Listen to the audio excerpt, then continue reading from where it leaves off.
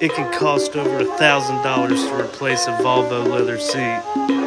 Do this instead. Bitch, I'm stylish. Glock talk, big t-shirt, Billie Eilish. Watch on my wrist, but I want that diamond. Another leather life saved.